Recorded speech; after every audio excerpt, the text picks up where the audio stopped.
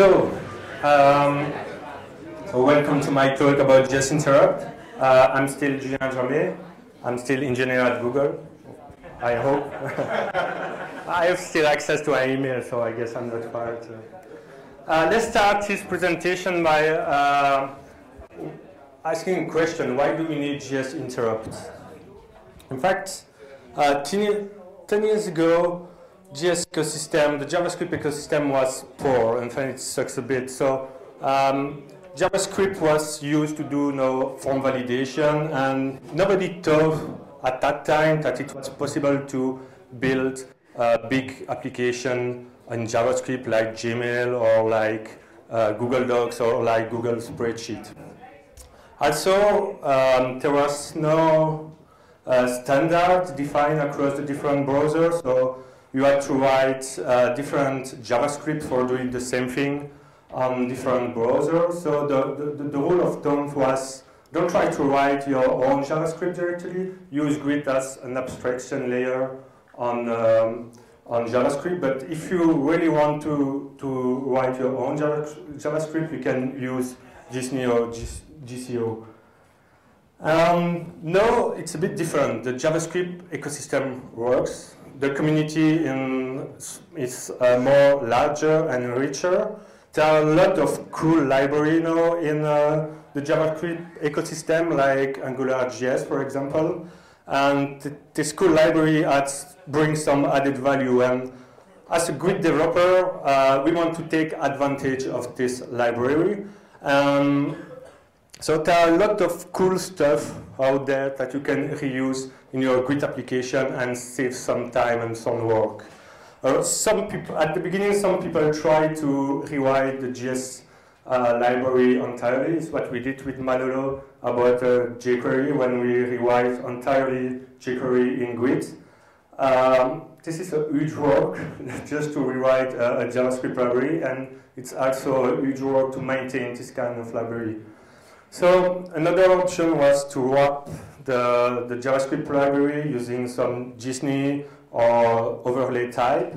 But you know, this is a kind of, of pain, and when you look at the code of this kind of wrapper, there are a lot of boilerplate, boiler, boilerplate code that actually we could, could be auto-generated. Uh, so we need a better system to interoperate with JavaScript, and in GWT 2.7, we introduced the beginning of a new, more efficient, more idiomatic uh, JavaScript interop uh, system in order to replace uh, the JSNI wrapping and the overlay type.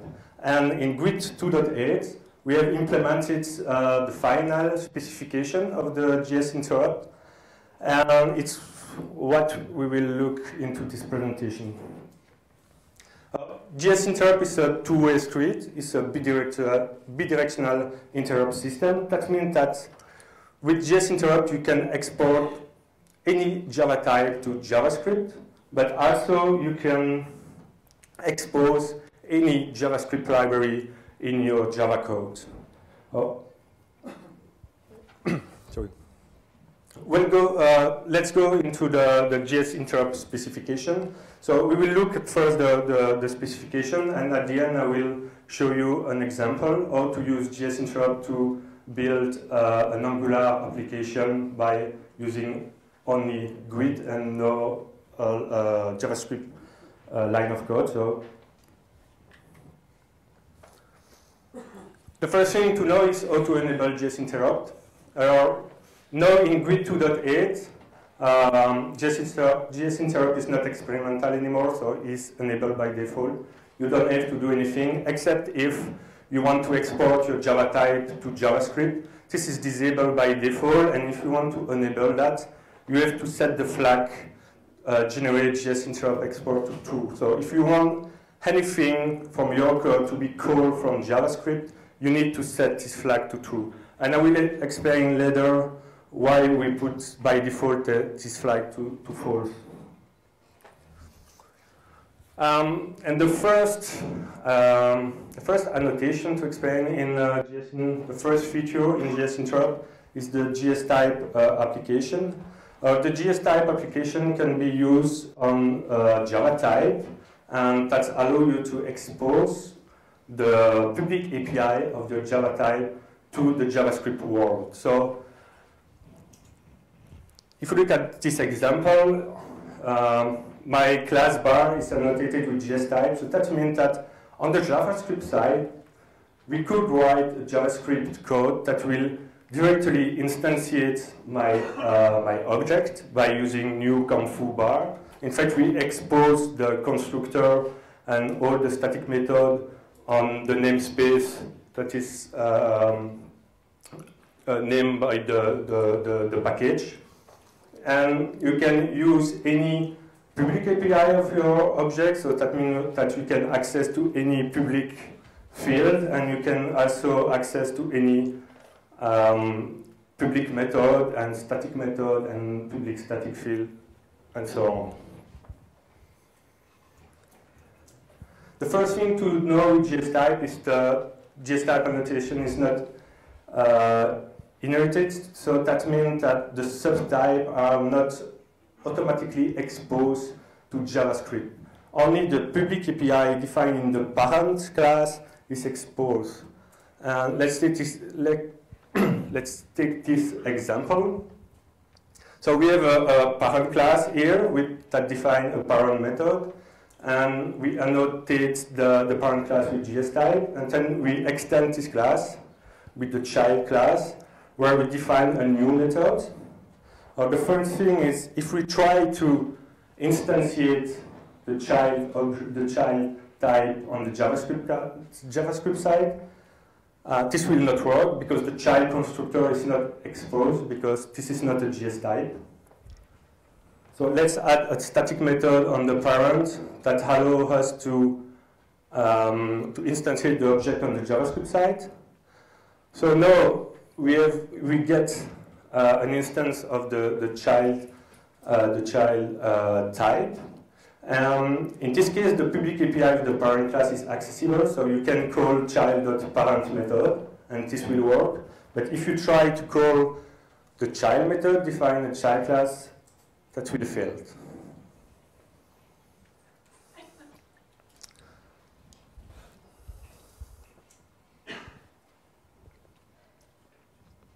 Let's talk about JS property, JS method, and JS constructor. So let's come back with the same example. We have the bar, the bar type that we put the JS type in uh, above the, the, the type. Doing that is equivalent us doing this thing.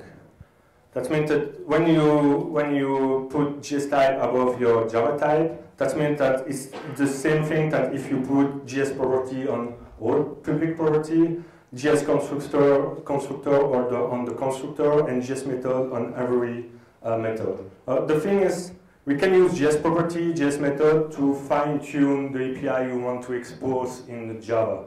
So, for example, in this case, if I use, if I had a public method foot end, foo int, but I don't annotate this method with JS method, you cannot call this method on JavaScript side because this method will not be exported by JS interop. So it's really a way to fine-tune your code generation and to decide um, which method has to be exposed or not. And JS property um, can be used also on method. So let's take, I will talk about the native JS type in the few slides, but let's take, we have, we have an interface bar, an interface bar, sorry. And we have a method set foo, a get foo, and we annotate this method by JS property. That means that uh, on Java, okay, you get uh, an instance of this bar method, and this code here, so you call the getFoo method and setFoo method, will be um, will be transpiled to a JS property. So instead of calling bar the, the getFoo, the compiler will replace the call of the method to um, to the, the access to the JS property defined. Because on interface, there is no way to define field. And so if we want to access field, this interface is defining something that existing on the JavaScript side. And if this, this type has some field, as we define an interface, we cannot specify field here, so the way to do that is define a method with JS properties. Um, another annotation to know is the JS ignore. So we come back with the same example here. If you put JS type on bar, we expose all the public API except um, the method or the field or the constructor uh, that are annotated with JS ignore.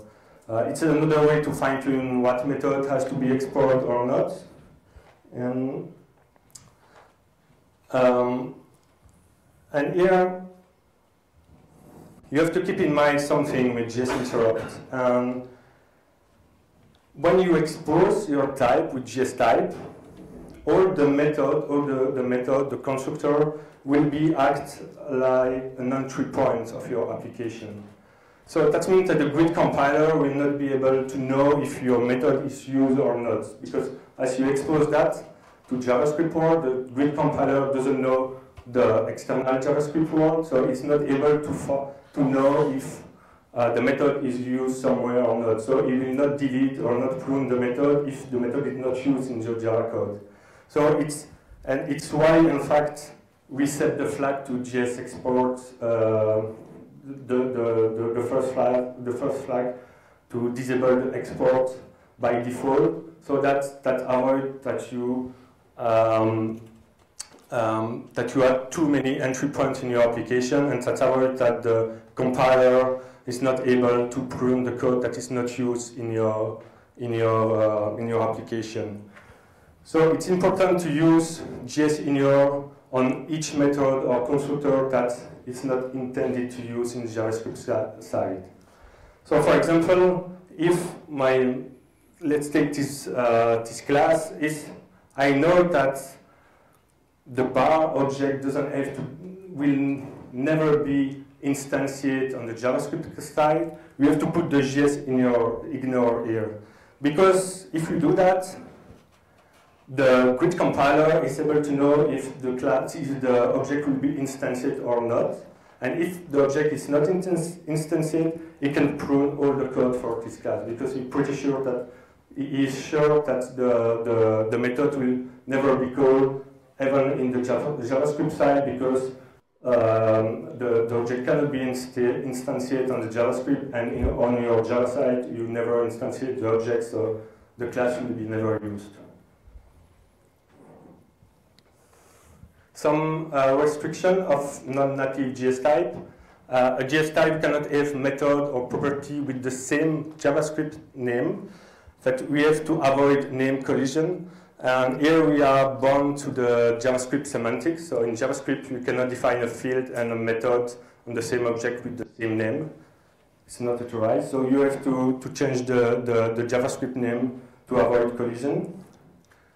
For that, we can use the name attribute. I will come back on the name attribute in a few slides to avoid uh, name collision in JavaScript. Uh, you cannot have only one JS uh, only one constructor annotated with JS constructor in the type. And if you have other constructor, uh, they need to delegate to this constructor. Um, if it's not this case, if we have constructor that doesn't follow the rule above, you have to use JS in your, to, in your test constructor. Anyway, the, if you don't do that, the GWT compiler will not be happy and you will get an error. And also, with the non-native JS type, GWT doesn't support method overloading, just because JavaScript doesn't support method overloading. Uh, let's talk a bit about native JS type. Um, to declare a native JS type, you have to use the JS type annotation and put the attribute is native to true. Uh, that means that here we are defining an existing JavaScript library. Uh, it's important to understand that for this kind of type, the GWT compiler will not generate any code because this is just a way to expose the API of the JavaScript code, of the, the JavaScript code in Java and make the Java compiler happy. That's it. So this is the example where you uh, redefine uh, a part of the API of uh, jQuery that we can that we want to use in our application. So we define here public native method. So you say to the compiler, okay, I'm not implementing this this method. The method is implementing in JavaScript.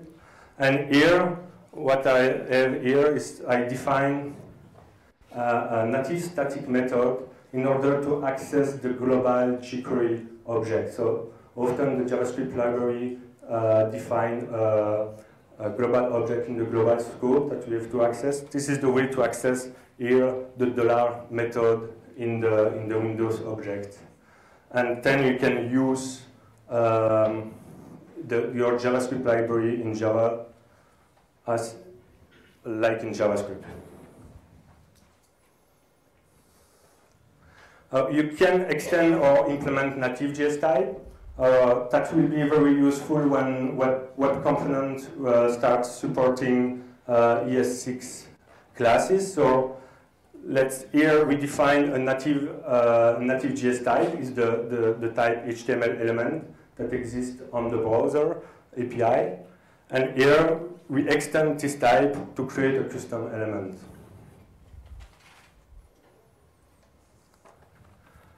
Um, let's talk about JS overlay method. Um, The JS overlay method is a way to add some logic on uh, native JS type. So we will see that uh, normally uh, native JS type can contain only uh, public native method, only native method at least. And so sometimes Sometimes it's uh, easier for the developer to add some some logic in the component without the need to extend the object or thing like that. So we can use uh, a public final, final method that doesn't over, override any um, method existing on the parent. If the, the class uh, extends uh, a parent class, you cannot override any, any method here. So and you annotate this uh, method with JS overlay, and you can implement anything you want here. Well, let's talk about the native JS type restriction. Um, yeah, a native JS type can only extend and implement native JS type, but you can extend a native JS type with a non-native JS type. I hope it's clear. Um, a native JS type class can only have public uh, native methods. You can also define public and uninitialized field. You can define constructor, but the, the constructor has to be empty because the, the, construct, the, the, body, the implementation of the constructor is done on the JavaScript side. Uh, you can uh, define final non-native method that doesn't override any other method, and you have to use the JS overlay annotation on it. Uh, another power, powerful feature of JS interrupt is the ability to represent JavaScript function. Um, so let's take this example. Let's take the, the public, in, the, the, the um, native type promises. In promises, we have two errors, two, two methods, success or error. And this method in JavaScript are taking a function as parameter, it's callback function. And if you want to do that in Java, you have to define a public interface annotated with JS function that contain only one method. And to be sure that the contract will not be broken by someone else, we recommend to also to use the functional interface annotation. It's a new annotation from Java 8. Uh, if you put several methods on, uh, on an interface with annotated with functional interface, the Java compiler uh, will complain about that. So, so that we're sure that nobody will break your code.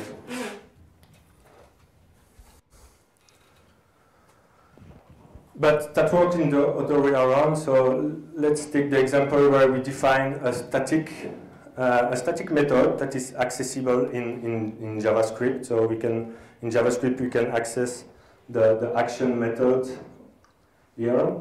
And we want we want to give the, the, the possibility to the JavaScript developer to call our method by passing a function. But we have to, to do the same thing here. We use the full type, and the full type is a JS function interface, and everything will work fine.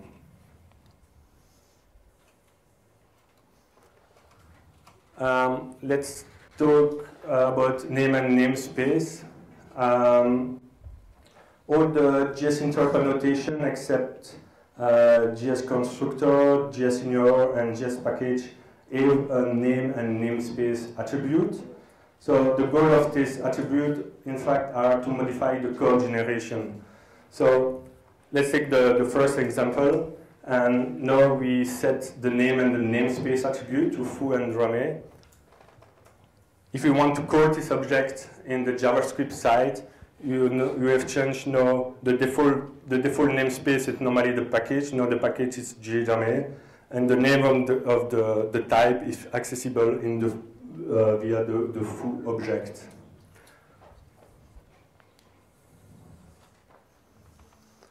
Uh, another concrete example that uh, with name and namespace.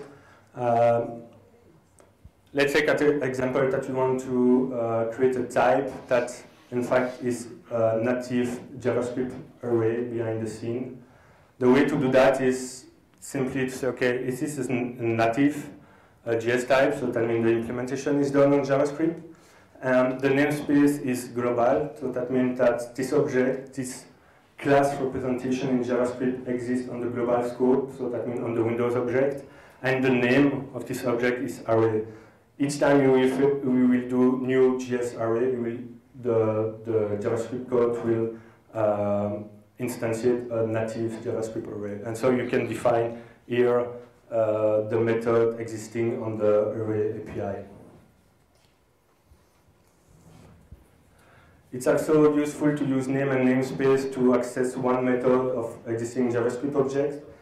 Uh, this is uh, this is something that I use uh, re regularly when I want to debug my code. Right now in JS Interop, is if you want to log something on the console, you don't have to create a console object with the log message. You just with the log method, we just have to create a native static uh, method log and say, okay, this log is defined on the console object. And automatically, when you call this method in Java, the GWT compiler will replace the call of this method by console.log. And that works. And another way also is to access uh, object defining the global code. Let's take the example of Angular. Angular define uh, an Angular object on the Windows. And if you want to access this object in your Java code, the best is to create a native static method. And you just say, okay, this method is not defined on foo, but it's defined on the global, global scope. And here, it, this is a JS property, so we, we follow the, the, the Java Bean convention, and so um, the call of this method will be replaced sim simply by Angular, and so you will target the right object. And yeah, and the last uh, annotation to know is the JS package. Uh, if we want to define uh, uh another names, uh, namespace for all the classes in one package, you can create a package info Java and use the JS package annotation that will define the namespace for every classes in your package, except if you override on a class the namespace.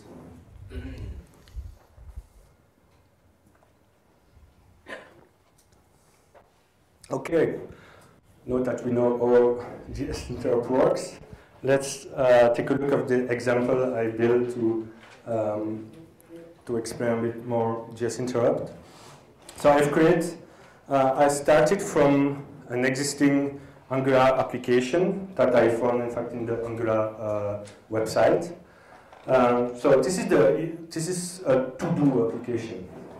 This is a bit usual as example. And this is the code used by Angular, so we have the HTML code here.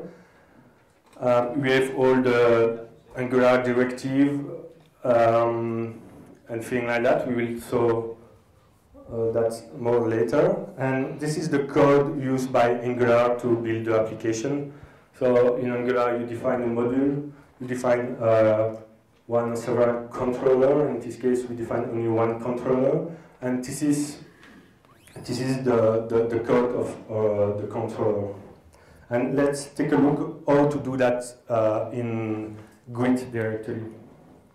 Uh, the first thing to do is we will remove the to-do.js because we will implement everything in, in GWT. So we will replace that with our uh, JavaScript generated by GWT. Then the, the, the, the second thing to do is to write the Angular API we need in our application. So in this case, we have we need two methods. On the uh, first, we need to access the Angular object, and on the Angular object, we need two methods: the module method that will create a module, and here we use the for each method uh, to iterate on a JS array. So this is the code that we need to, to do that. So we define uh, a class Angular. We say, okay, it's a JS type and it's a native JS type because GWT doesn't have to generate anything here or the implementation is done in, uh, in JavaScript. We need to access the Angular object, so for that we use a public static native method, get Angular, and we say, okay, the Angular object exists on the global namespace. And we define the two methods, the two native methods that we need. So we have the module uh, method that will return a module object that will take the name of the module and the other uh, module required. Um, and then we define the for each method that take a JS array. So the JS array is the same as the code that I showed a few, uh, few uh, the, uh, previously.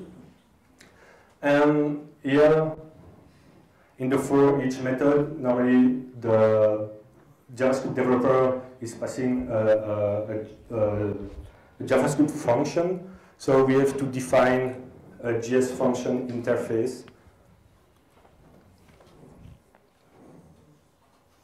Now that we have that, uh, we have to define the API of the module object. So the module object is one method, the possibility to uh, define a controller. Uh, we have to pass in the controller the name of the controller, is the identifier of your controller, in fact, and you have to pass the um, constructor function, function of your uh, controller type. And for that, I, I've create another JS function, named controller function, because in, if you come back in JavaScript, sorry, people will pass a function as argument. So I have to create a JS function here. Now let's implement the, the controller logic. So for that, I just create a to-do list controller. Um, you see here it's not a native and it's not a native uh, JS type because the implementation now is done on Java. It's my implementation. So if we come back on, on the on the JS, you see that okay the controller has two fields. We have the to do. This is an array of to do, and we have another field is to do text. So we define these two fields, and we have three uh, three methods. So we define as well this method. So you have the two field here. You have the, the constructor that uh, initialize the, the, the JS array. Uh, you have the add to do, the remaining, and the archive uh, method. And if you look at the uh, at the implementation of the method, it's very, very similar. It's really the same. Um, just take a look here. I'm using the, the Java 8 Lambda here. Um, it's it's really cool now the Lambda because the Java code is less verbose than in, in JavaScript. If you look here, you don't have to, to define function. In one line of code, you have, uh, do everything.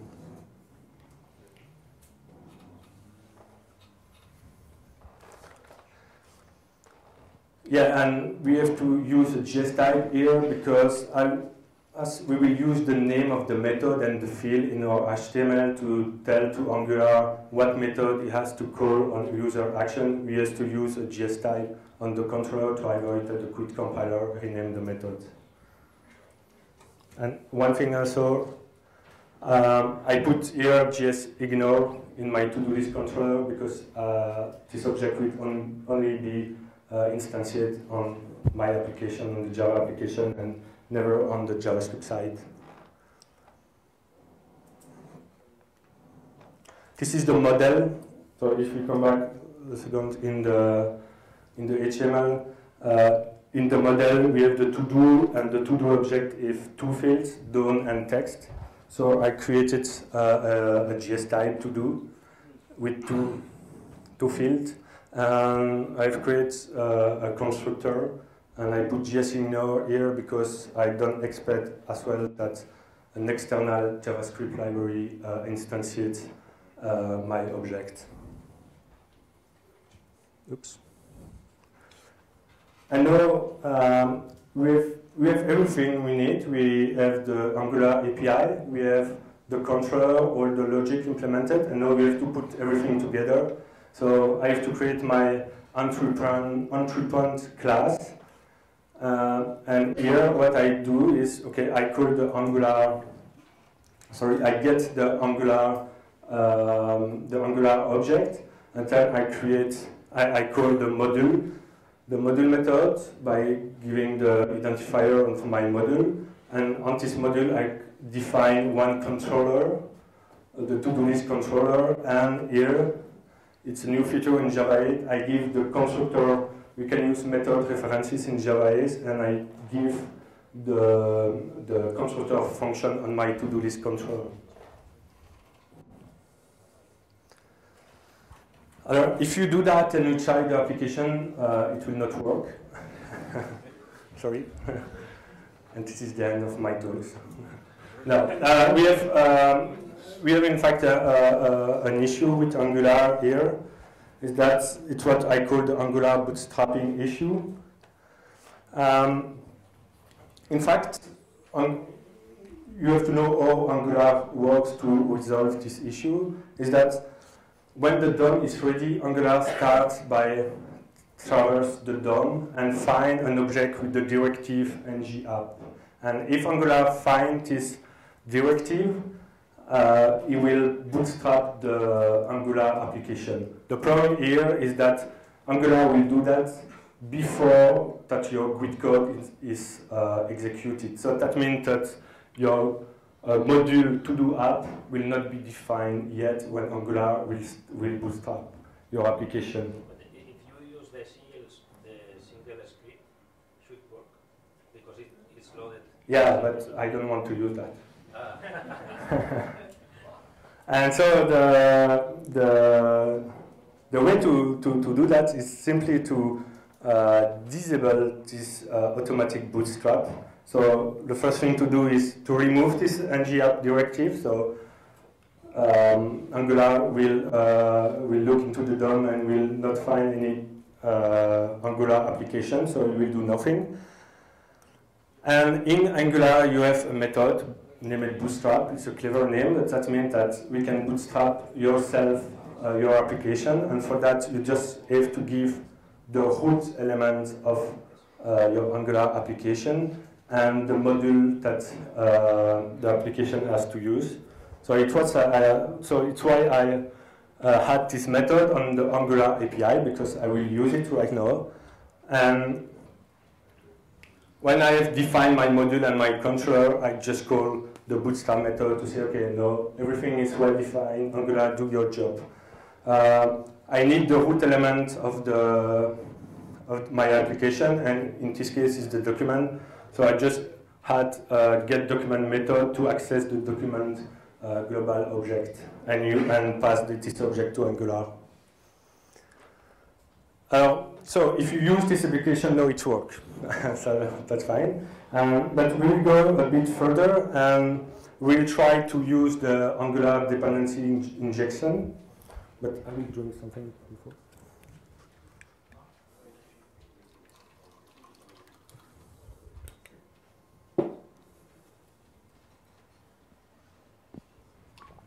So Angular has its own dependency injection. Um, this is an example with AngularJS of of how to use the dependency injection in JavaScript. So when you call the controller method, no, you, did, you still pass a controller identifier, and then we pass an array of objects, and in this array, the first element of the array is the identifier of the component that we want to inject inside your controller. So here, for example, in this example, I have three dependencies that I want to inject inside my controller. For example, the, the scope is a dependency, it's a built-in de dependency from Angular, so you ask to Angular, okay, give, give me the, the, the scope dependency. And so let's do that in our Ping.js. And let's, let's inject in our controller the HTTP service. HTTP service is a built-in service of Angular to uh, do uh, HTTP request.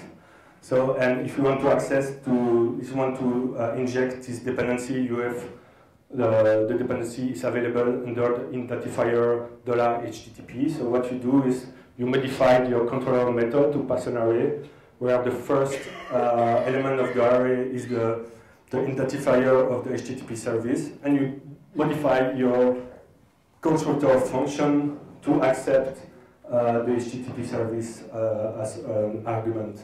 And then you can use it, but we will, do, we will see that later. So I want to do that in Java as well. So I have uh, modified my controller method to accept uh, uh, an object uh, parameter and I have also uh, changed the controller function, the, the JS function uh, interface to accept the HTTP service as uh, an argument. Now I just have to define the HTTP service API because it's an API uh, provided by Angular and I want to use it. So I will use the get method on the HTTP service that take as uh, argument the, the, the, the URL or this, this service return another object that I call HTTP promises. Uh, it's still native uh, object. And on this uh, HTTP promise object, I will just call the success method that will take a callback. And so I define my inter callback interface by using a JS function. And this callback function will receive, in fact, uh, the data uh, behind the, the URL. So what I have to do here is just to know, change my to-do list controller to accept the HTTP service, um, to get the and to call the HTTP service to retrieve the data on the server. So we will get a JSON, and when it's successful, what I do is that I initialize, I initialize, initialize my to-do array with the data I receive from the server. And now, the only thing I have to do is to put in place the dependency injection. So I change the call of the controller function where I pass uh, uh, an object array and say, okay, Angular, please provide me the HTTP server, uh, the HTTP service instance in my controller, and you continue to pass the the constructor of your uh, controller. And it works. It works very fine. So I didn't, I mean, I didn't think that when I tried, but it works. So. But here uh, we have a hidden issue, in fact, here. So like I said, if you, if you compile the application and we try it, that really works pretty fine. But we have an issue here. Um, the issue is there, in fact. And maybe this slide you will, you will see where is the issue. The thing is that we will receive a JSON. Um, that means that Angular will create this object uh, itself by uh, calling the JSON parse. And then we assign this object to the type to do. Or this is a problem because normally my object is not, I don't expect that something external to my Java code, instantiate this object. So this will work because the object here has two fields, so they share the same API. But now imagine that in my class here, I have some method. If I have some method here, and I try to invoke the method on the object created by Angular, that will not work because the method doesn't exist on this object. And they are even worse. If you redefine the equals and the hashcode method on your to-do, and you put all the to-do in an hash map, all the to-do coming from the server will, will be lost forever. Because the hashcode and the, the equals method are not overridden for, for the object created by Angular. So, the best practice in this case is to define an extra interface to say, okay, Angular will create object itself, so I have to create a native interface to do DTO, where we define that on this DTO I will get two JS property, text and done. Then you modified your, your, mod, your model to uh, allow you to create a to-do um, with uh, to-do DTO.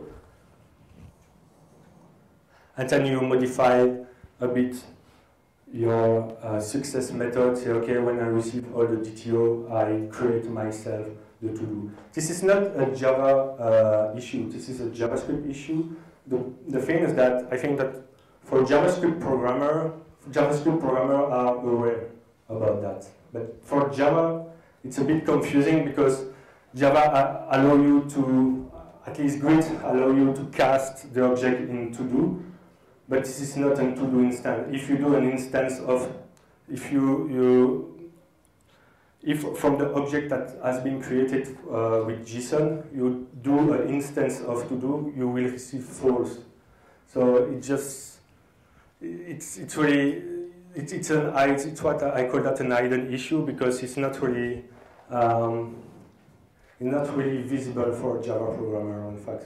So this is uh, this is a, a, good practice to, if you want to do things like that, uh, every object that is constructed on the JavaScript side should be a native uh, JS type. Wait, like demo.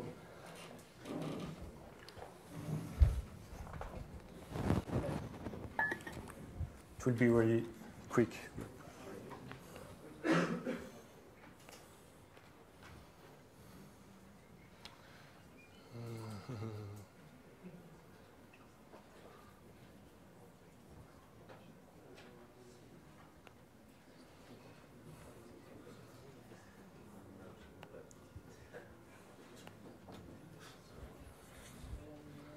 Okay, so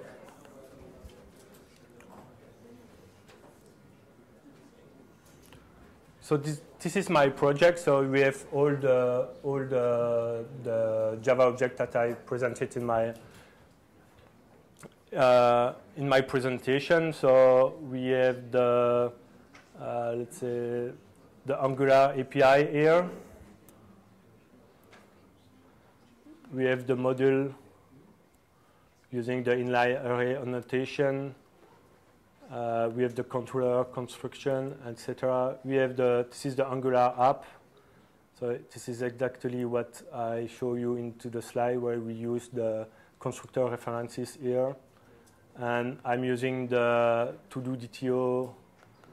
I have, this is my model that is able to consume a to-do DTO.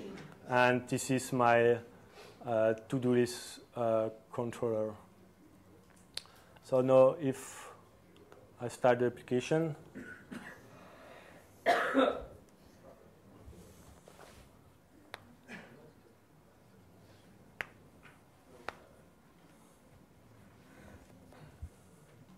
and this is the application working in fact. So you can archive the the the to do you can create a new to do oops this one. Uh, you can flag as done or not, etc. And if you reload, we reload the. So it was a short demo, just to, to show you that the code works. And um, I don't know where is my presentation. And that's it. So thank you for your attention. And if you have questions, oh.